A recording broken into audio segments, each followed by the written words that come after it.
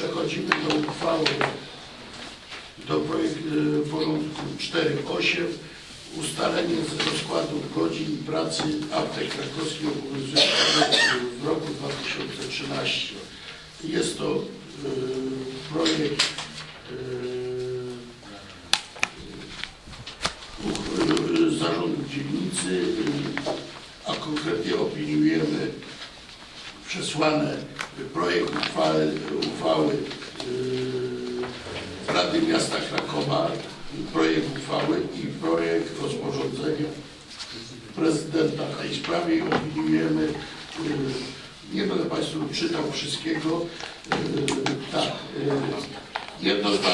jednozmianowe, apteki od 9 do 16, dwuzmianowe od 8 do 20, soboty dla aptek jednozmianowych 8 14, co drugą sobotę i dwuzmianowych od 8 do 14 każdą sobotę.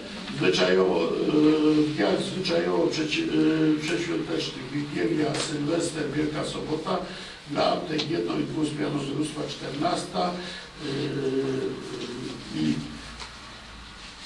ogólnodostępne apteki pracujące w systemie całodobowym w pełnym zakresie usług farmaceutycznych obowiązujące na terenie miasta Krakowa od 1 stycznia y, 2013. W projekcie uchwały są mianowicie wyszczególnione apteki pod, apteka pod opatrznością ulica Kawelicka 23, apteka Galna na kronikarza, przy ulicy kronikarza Galla 26, apteka Dbam o zdrowie, ulica Kalwaryjska 94, apteka Dbam o zdrowie, osiedle Centrum A, blok 4, to nas najbardziej interesuje, i 5 apte życzliwa apteka ulica Wadowicka i apteka Wena Wita, ulica Polska 1.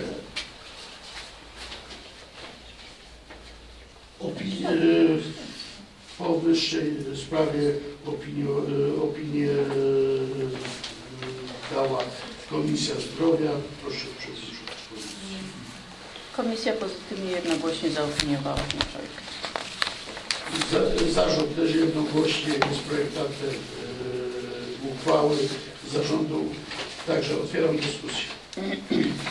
Proszę. Czy ja chciałabym zabrać głos w tej dyskusji, ponieważ jak przeczytałam, oczywiście bardzo y, zaszczytna y, uchwała Rady Dzielnicy, że pozwolili nam na o zaopiniowanie tak cennego, że tak powiem, działalności na terenie y, miasta Krakowa, czyli y, otwieranie aptek tam do którejś godziny. Bardzo żałuję, że, y, że tutaj nie mamy takiej możliwości na przykład w decydowaniu o otwieraniu sklepów z alkoholem całodobowych. Y, Tego nas nikt nie pyta o zdanie, co jest dużo bardziej szkodliwsze niż otwarcie apteki.